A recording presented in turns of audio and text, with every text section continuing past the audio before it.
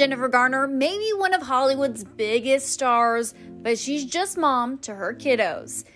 In a new interview with Allure, the actress explained why her kids watch their dad, Ben Affleck's movies, but not hers. Quote, they don't mind watching their dad, but they kind of want me to be their mom. They don't want to see me upset, and women cry more in what we do, and they don't really want to see me in a romantic thing, she told the mag.